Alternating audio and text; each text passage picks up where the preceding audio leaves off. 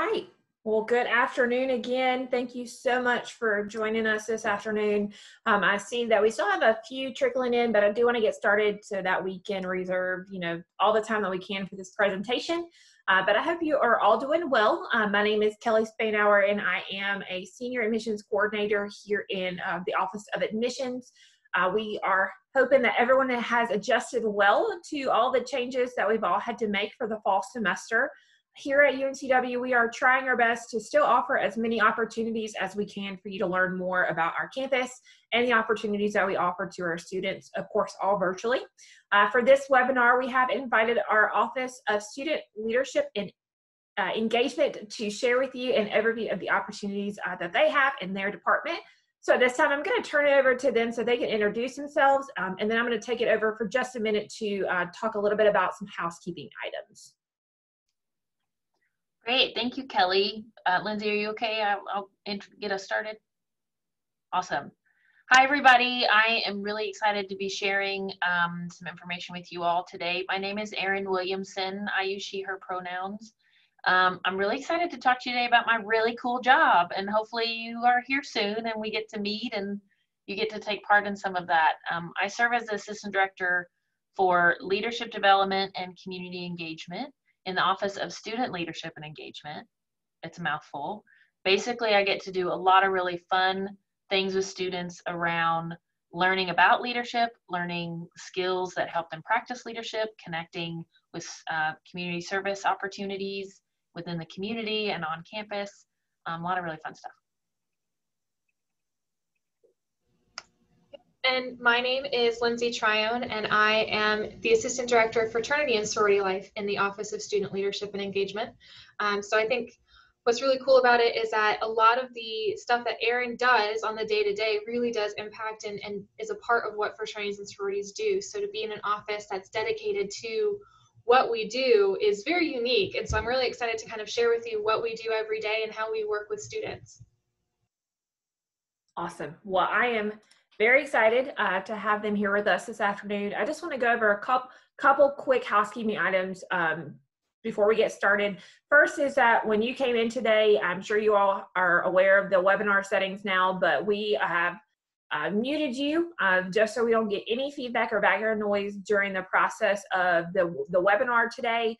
Um, however, we do have a Q&A feature uh, for you guys to use if you have questions, um, and I will be facilitating those questions at the end of this webinar. Um, so if, if you're thinking of any questions as we're going through this presentation, feel free to go ahead and jot those down in the Q&A, uh, but we will facilitate those questions at the end of, the, of our webinar here. So I'm going to turn it over uh, without further ado to our presenters, um, and we'll get started.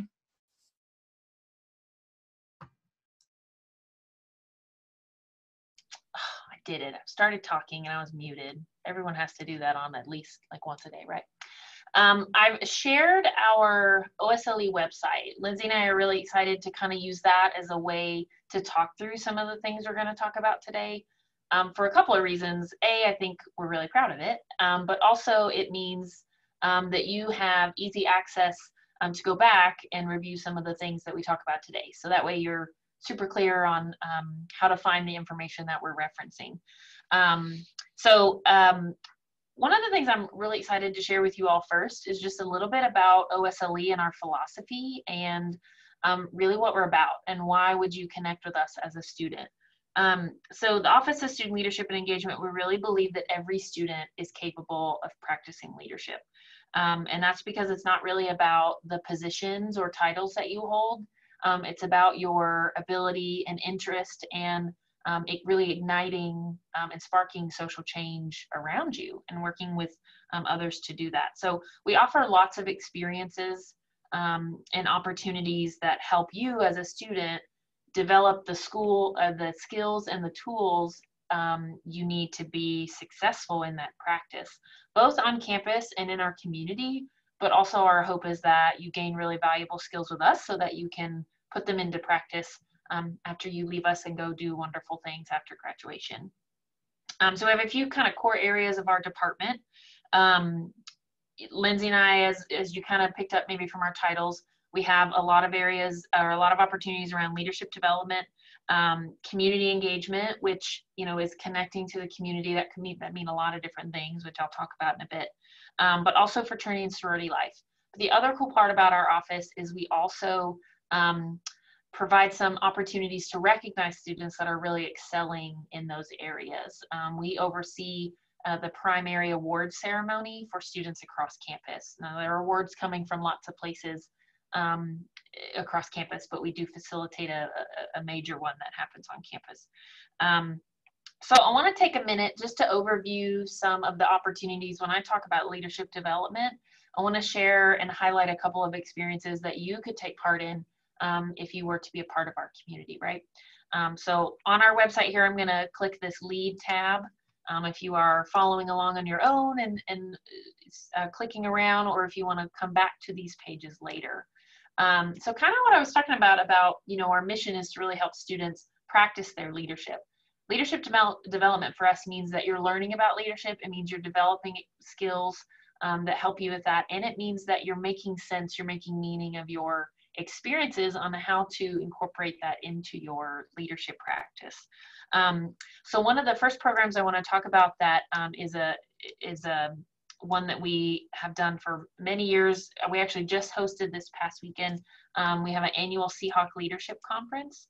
Um, and so, like I said, this just happened this weekend. This conference is planned by students. It's for students. We even had students that were presenting as peer um, workshop uh, presenters, which was really cool, and they're sharing some of their own stories.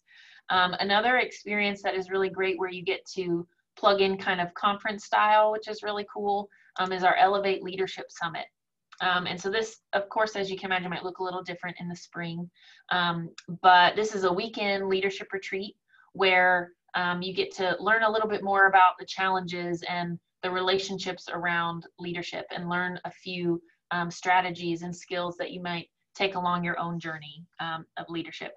Another cool thing that we offer students, and really this is every student, right? It's not open to only uh, like specific groups of students or specific students by nomination or anything like that. Um, we have lots of opportunities around leadership workshops. Some of these are part of a series that you can return and be a part of a continuing conversation. Um, others are kind of one-time experiences around a specific conversation. Um, but we also do a lot of custom workshops. So we'll go into student organizations, to classrooms. Um, all of our first year students and many of our transfer students participate um, in a university seminar, a Uni 101 or a Uni 201. We're in a lot of those classrooms, so you get to engage with us and our students around um, these leadership workshops. Um, one in particular I will highlight is all around um, emotionally intelligent leadership. Um, and I personally kind of geek out on this a lot, but I'll share with you all why emotionally intelligent leadership is a high priority for us in terms of providing it as a way for you to develop in this area.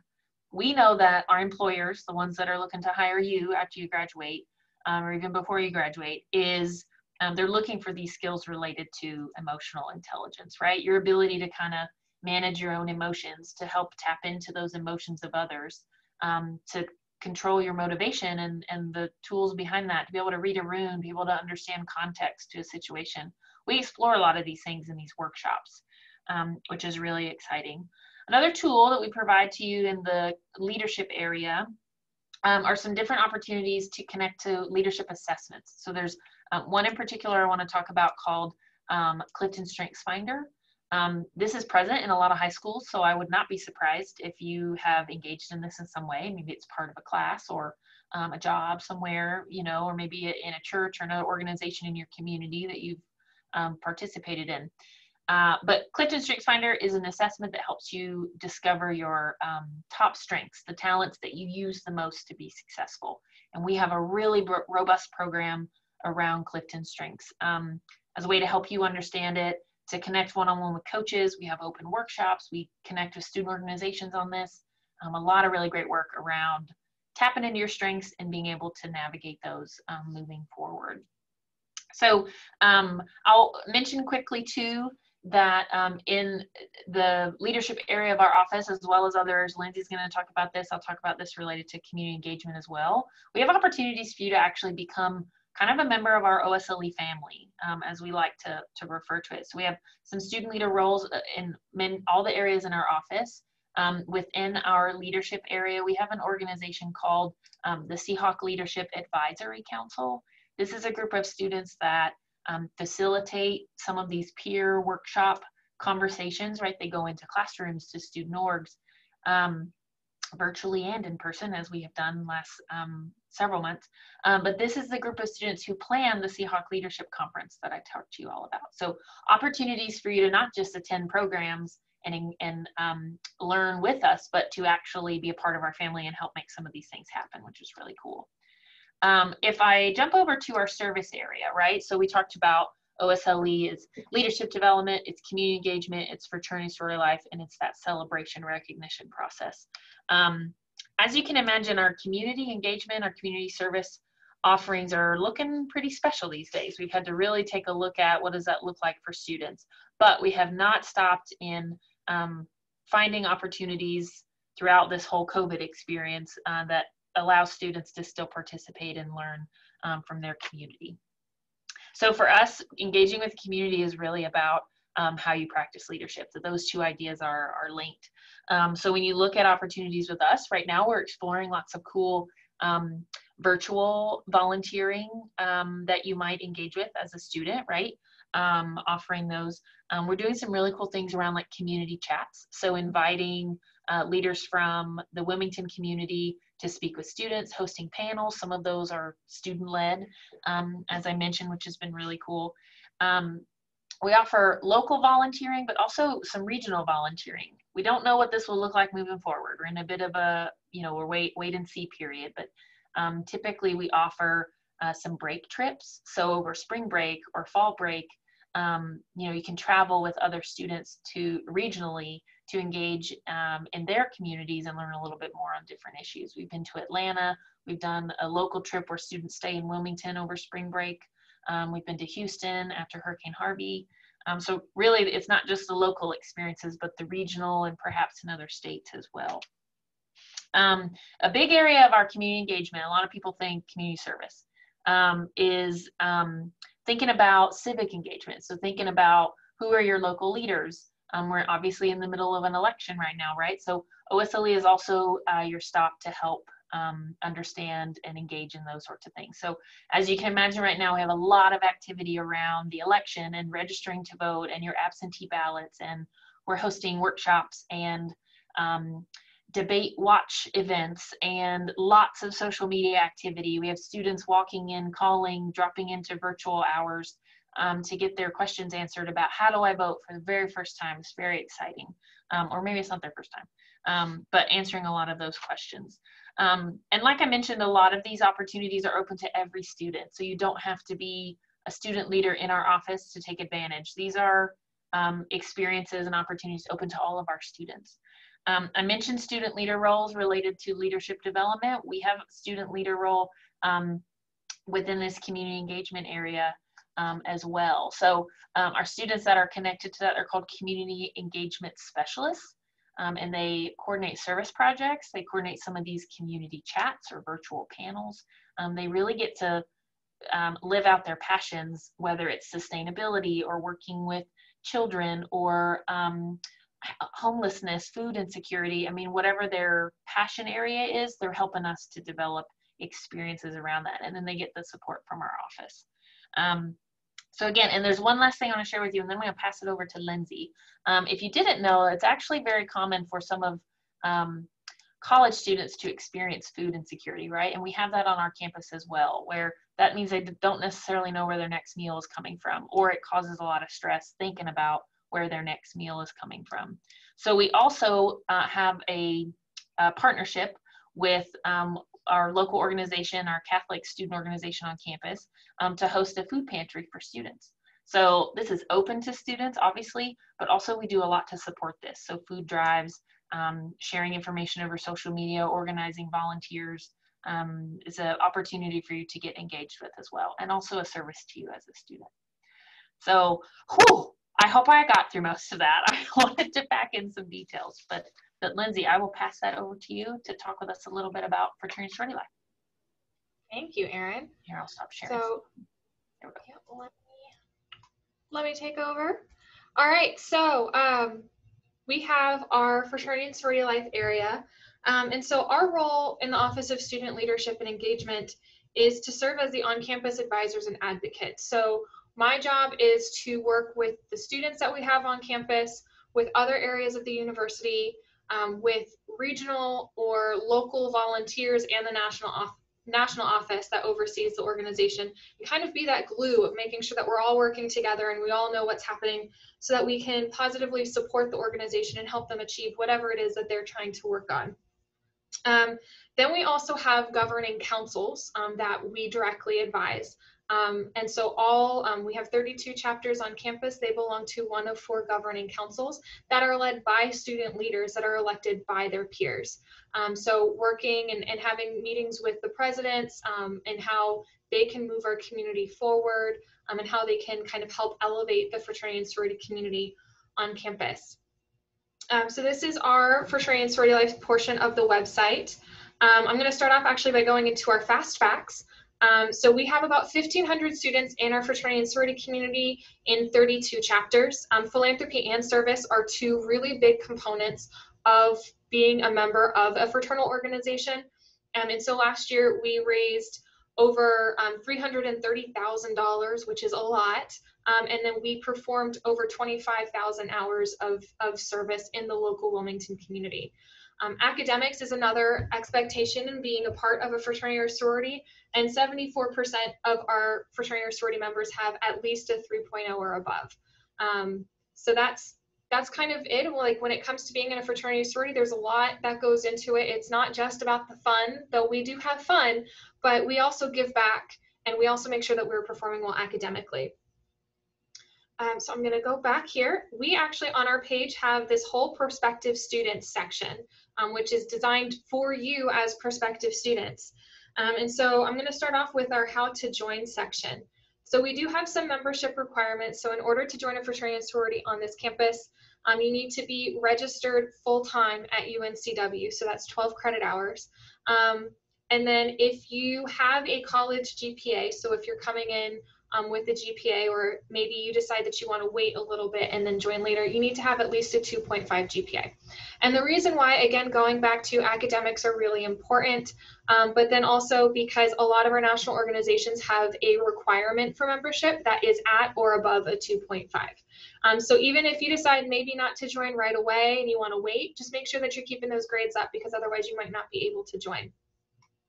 Um, and then all of our councils have a slightly different process in order to join them based off of how they're organized and how they're founded. And so our um, our interfraternity council, um, which is for our social men's fraternities, they take they take members both the fall and spring semester um, on their own time.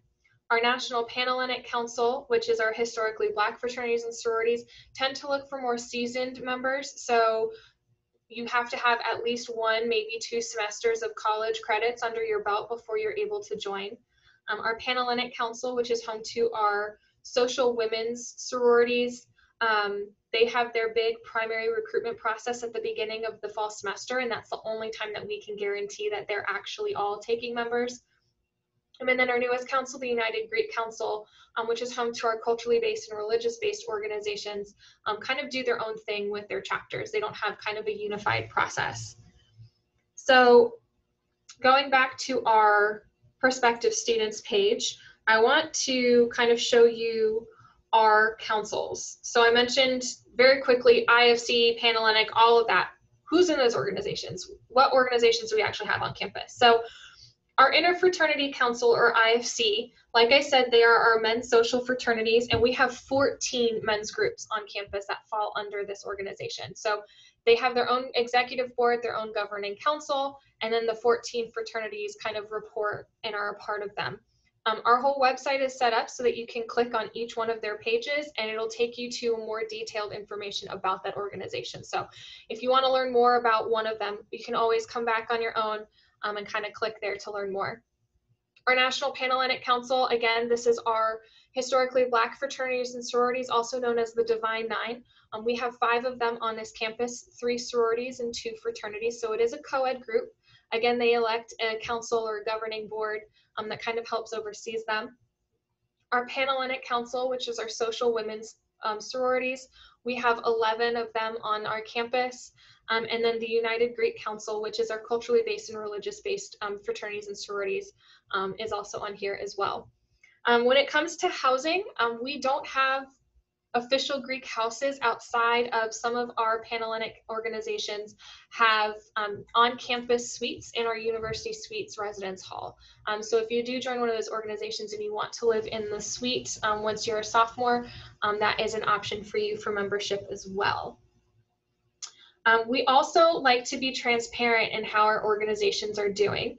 Um, so we have created a scorecard um, which allows you to kind of see how how they did for academics each semester, how did each organization do in terms of number of hours of service or in philanthropy dollars raised. Um, it also does show if there were any conduct issues. So um, this is something that we get a lot of parents or guardians asking for. So if you're you have a guardian that's kind of on the fence about whether or not you should join, you can always look over the scorecard together to kind of identify like which groups do you feel might be the best fit based off of the service or philanthropy that they've done or how they're performing academically to help you kind of make that decision. We also have, um, speaking of our parents or guardians, we do have a parents page just for them um, so they can learn about how to support you as you join an organization and what membership looks like.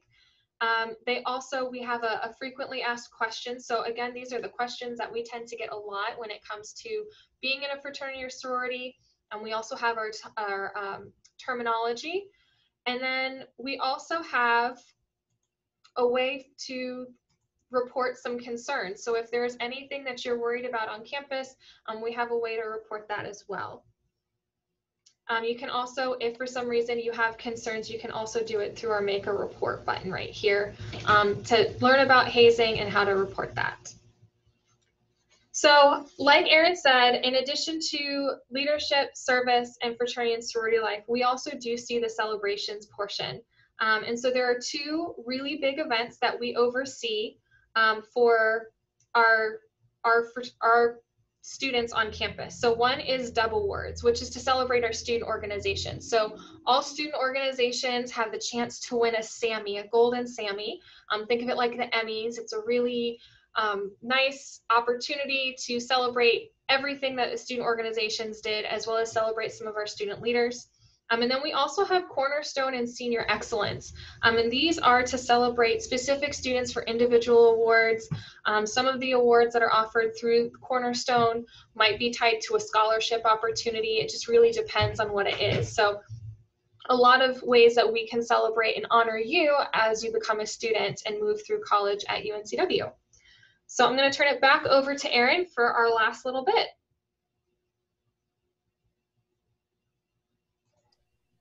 Thank you. I had a panic moment, by the way, while you were talking, Lindsay, so my phone rang in here. That's the downside to doing this from our offices. But anyway, hopefully they don't call back. Uh, yeah, so I'm excited to wrap us up. I just want to share with you all that, you know, I know a lot of you are coming in with um, maybe you are hoping to um, apply to get federal work study um, through your financial aid, you're looking to find a job or to work on campus. Um, there are a lot of other ways to become a part of you know, our OSLE family, like I said. So we do host um, paid roles in our office. We have office assistants um, that they help us a lot at the front desk, right? So in addition to some of the admin things you might imagine, like helping to answer phone uh, phones, managing our inbox, helping with mail, coordinating, you know, smaller projects, kind of front of house projects. Um, those students are empowered quite a bit to help us with different areas. So I have one student right now that's really running our social media related to um, our UNCW Votes initiative, our election things. Um, a student that's working with our workshops, tracking all of our attendance. So these students are really empowered to help us um, meet our mission, not just kind of, you know, staff a front desk. Um, but we also have students that help us run um, our marketing for OSLE. So um, if you are interested in marketing, you're interested in social media, if you're looking looking for um, a position on campus where you get to exercise those skills, we need it. Lizzie and I joke that we're like, we use social media, but I don't know that we're like truly in touch as much as we used to be. Um, so we really love having students um, employed in our office to help us do this. The other thing I'll share with you all is um, it's my, one of my favorite things that we do in the office is a lot of opportunities for very custom internships. So regardless of what you're wanting to study, regardless of your career path, whether you know what that is or don't, um, or you feel like maybe a career, how does that fit to OSLE? Um, there are skills that you can learn through an internship in our office. So we have students that are helping to facilitate sessions. They're coordinating programs. They are um, about they've coordinated service projects um, worked with our fraternity and sorority area. I, I, I, think one of our interns helped with that scorecard. Am I right, Lindsay, or is that our, that was our grad student? A little bit of both. Yeah, so lots of areas. If you're interested in what we're doing and you want some work experience, we can help with that um, as well. In addition to graduate assistantship. So if we have anybody here who's here because they're interested in UNCW, maybe as a grad student, um, we employ graduate assistants as well, um, which is a little bit different. You know, those are just for graduate students. Did I miss anything, Lindsay, on the other employment opportunities? I think that that might be. I think you got it all. I think so too. Well, Kelly, I will hand it back over to you for questions. Awesome. Awesome. Thank you guys so much for all that information. Literally sitting here, it just brought me back to my college experience. Mm-hmm. And I know that it my my experience as a student would not have been the same if I was not involved in all of the student involvement and all the things uh, student organizations wise in Greek life and ACE that I was a part of. So I always encourage students to really dive into it, at least research it. Um, if it's a Greek life is not for you, that's okay. There are several other opportunities in leadership that you can get involved with. Um, so I'm just very thankful that they were here today to just get that eye-opening experience. Um, but we do have a couple questions in our Q&A, so we'll get started on those. So the first one is, um, is there any leadership workshops, summits, or retreats that students in high school can participate in before they become a student at UNCW? Yeah, I can share a little bit there. Um, I think while those are a little more limited, right, because our um, the folks we do serve are current students, we have had opportunities where students can participate um, before they get to UNCW. Um, the main one that I'll share about is our Seahawk Leadership Conference. That wasn't the case with the event, you know, that we just had this weekend, just because it was much more limited as we try to navigate kind of the virtual experience. But our past two years, so our 2019 conference, right? We're in 2020. Yes, our 2019 conference and our 2018 um, conference, we worked with the New Hanover County schools um, to identify some students that could participate. And they came to campus, participated with us throughout the day, um, which was really exciting. And so we're certainly looking to do more of that.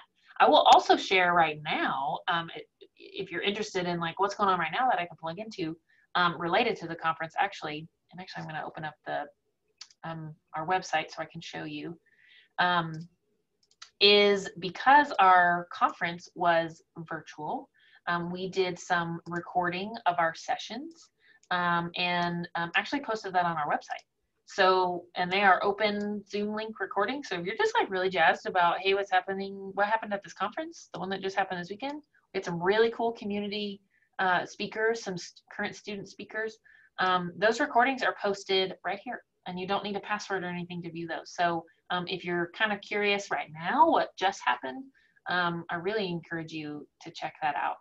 Um, the other thing I will share is um, we have some flexibility when it comes to some of our like workshops. Um, I have done some work in the community for high school students where their advisor or their um, like the one of the one examples I'm thinking of it was through like a, a program like after school program. That sounds really juvenile. It was for high school students and I don't know what to call it but it was related to like pre um, the pre-medical field. It was students who were interested in going into to healthcare fields um, and we came in and did some strengths work. So it's a little more limited just because um, of us really seeking to serve current students, but um, there are some things that are open right now, and that conference in particular um, is something we try to open up to students for sure. Awesome. Uh, the next question is, is there anything within uh, your department, your office, that has to do with the LBGTQ uh, community? Yeah, I can share a little bit, Lindsay. I don't know if you have things you want to share on top of that as well. Um, I will share that, first of all, um, we do a lot of partnering with an organization and office on campus that directly supports those students. So first I have to just say that there's an office um, and a community on our campus that uh, specifically supports programs advocates for, works with um, that population of students or students on campus. Uh, but we've had some really great partnerships um, since I've been here. I, I wouldn't say that any of our programs are like specifically geared. We really try to market to um, all of our students and be welcoming to all of our students so that they're open to everyone. Um, but we've done some cool partnerships in the past. Um, one I'll share about in particular, a lot of it has to do around our workshops because those are, because they're shorter programs, they're like a smaller time frame. Um, we partnered with uh, Brooke Lambert, which is our the coordinator for the um, the Moen Schultz LGBTQIA Resource Center. Um, I think it was a year ago at this point, um, but we held a specific, a specifically themed emotionally intelligent leadership workshop that was around being an ally and really working to understand our identities, um, whether that you whether you're part of that community or not. Um, really, just working to understand um, how do our identities around gender identity and sexual orientation and um, other aspects of ourselves, how does that influence how we practice leadership? Because knowledge and awareness of those identities directly connect to emotional intelligence. Um, and so Brooke and I kind of co-facilitated. I will also share that a lot of our staff um, and our students participate in trainings and programs that are geared to help us be better allies. Um, and so do we have programs that are specifically for that community? I would say no, because we kind of cater to the, the greater um, student community. But we have a great relationship with the organization and the office that does um, and create some really strategic partnerships. Lindsay, would you add anything to that? Yeah, I mean, I would say, like, from the fraternity and sorority life standpoint, um, we do have um, members in our organizations that identify with the LGBTQIA community. And so that's something that I have really enjoyed working here is because we do have a community that is inclusive um, in that regard and, and welcoming. Um, our students have been learning recently, um, especially that, you know, not everybody is coming in with the same knowledge and understanding of different populations on campus. And so I do want to kind of plug that. Um, two of our governing councils recently just added in a diversity, equity, and inclusion position to help with education around um, a lot of different populations, including that one. Um, and so we're going to be seeing a lot more programs on the council level um, about different populations um, in the next couple of months, I would say. Awesome. Um, I did have an, another question come up, but I, I, answered that one through text because it was more of an admissions question. Uh, so I just kind of want to kind of gear that towards everyone that if you guys have questions for admissions, please just kind of reach out through email um, at admissions uh, at uncw.edu. Um, I just want to make this webinar very focused in on our department that we have here today. Um, anything admissions wise, we can definitely answer through email for you guys.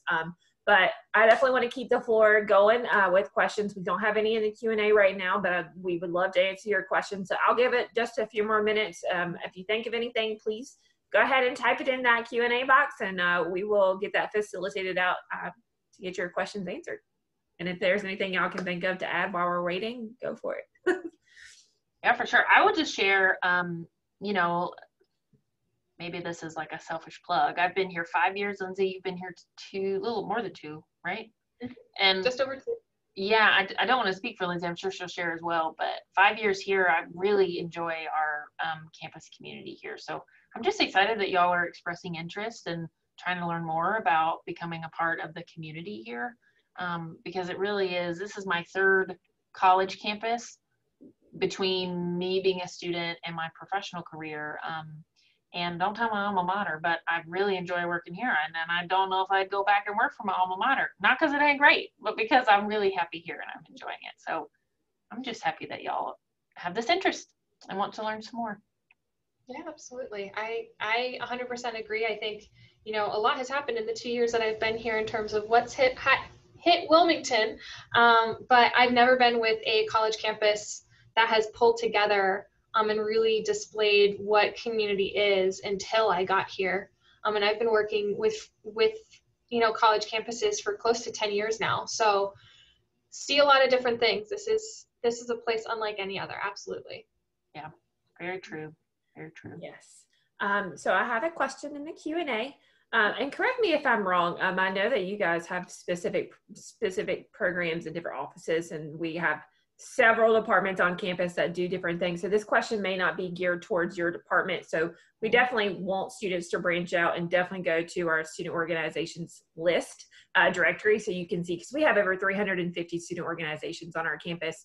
But this question was, do you guys have anything similar to Best Buddies, which is kind of a program that helps people with disabilities? So is there anything okay. at UNCW that has that kind of program?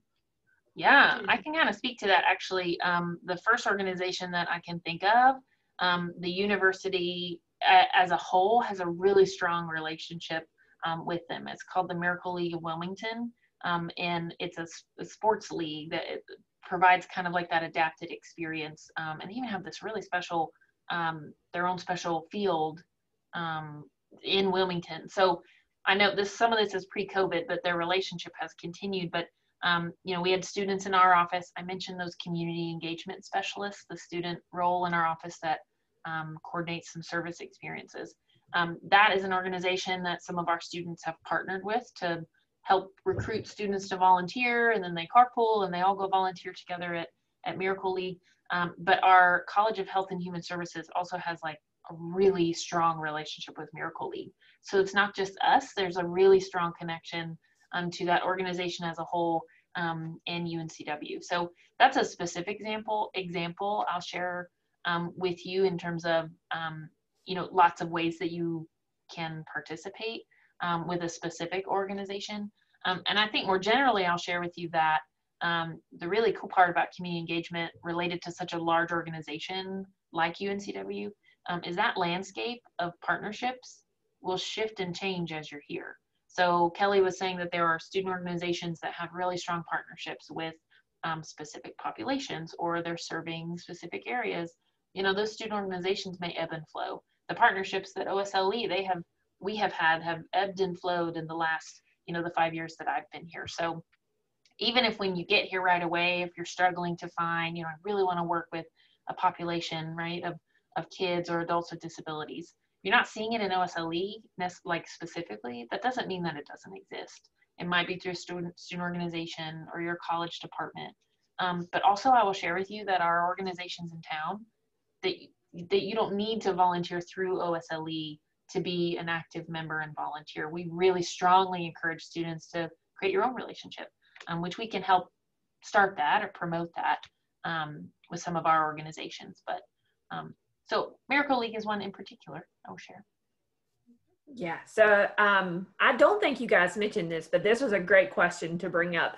Um, Brianna asked if there was a club fair or something similar to learn about different clubs and organizations. Yeah, Lindsay, you want to take that one? Yeah, absolutely. So um, our Campus Activities and Involvement Center every year coordinates um, this thing called the Involvement Carnival. Actually, I think they do it every semester, but the fall is kind of the really big one. Um, and so you'll have student organizations out there, you'll have other university departments out there. Um, some of these organizations that we partner with and volunteer with might be out there too.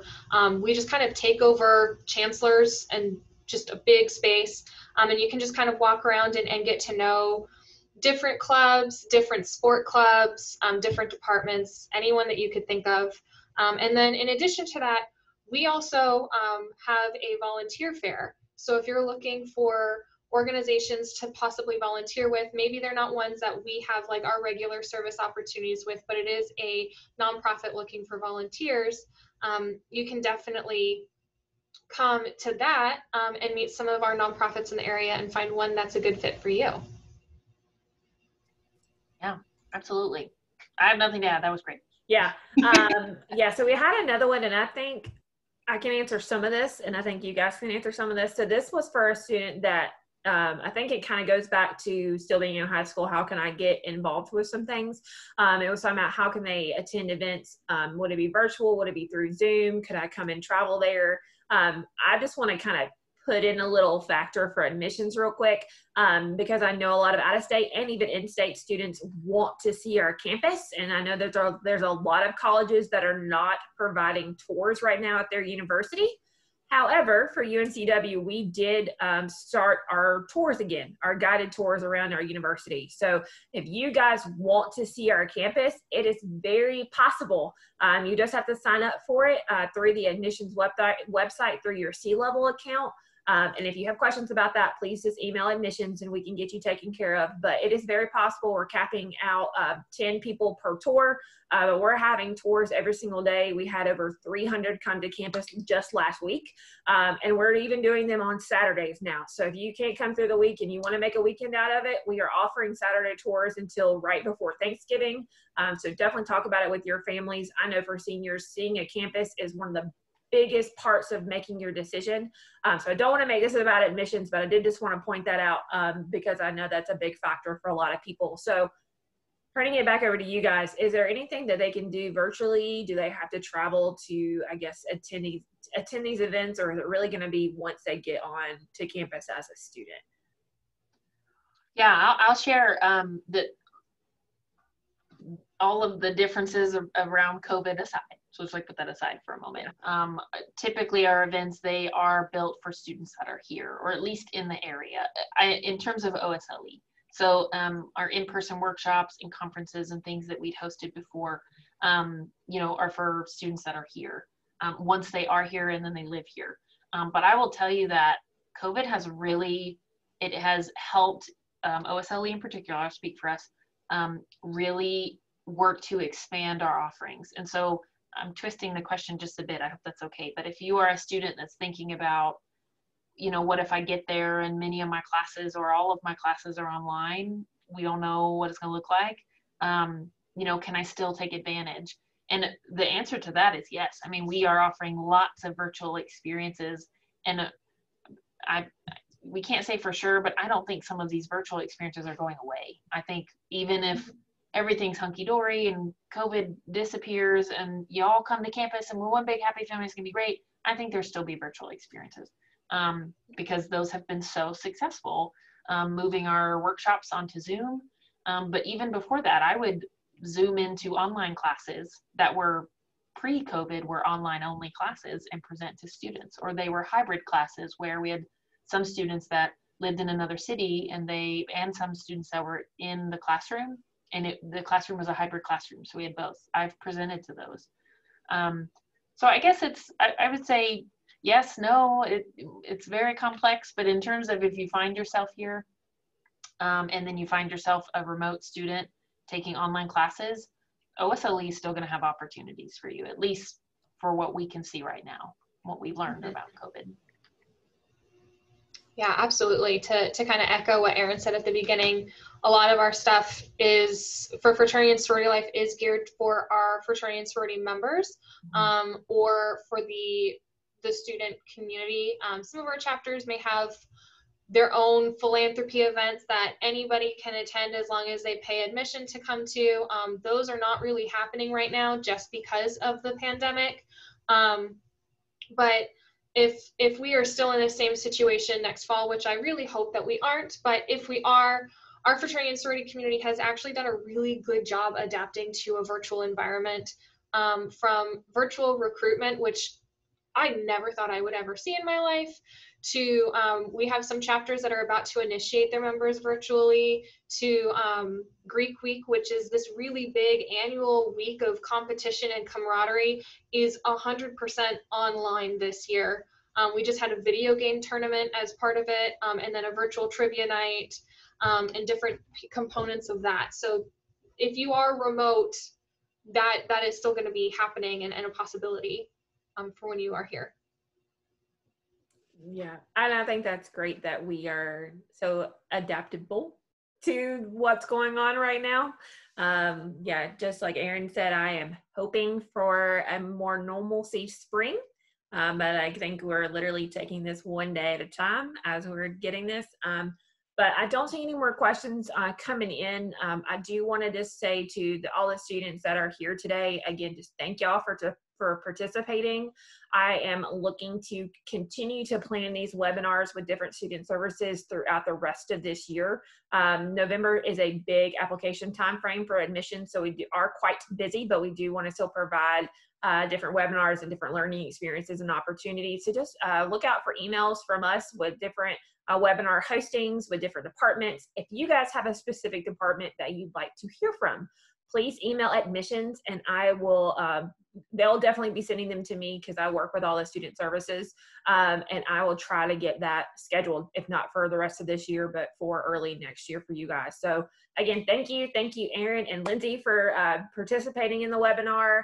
Um, if there's anything that you need, uh, please just reach out to admissions uh, at uncw.edu. Um, but I will hope you all have a wonderful afternoon and enjoy your weekend. Thank you. Thanks, everybody. Hope to see Bye. you soon.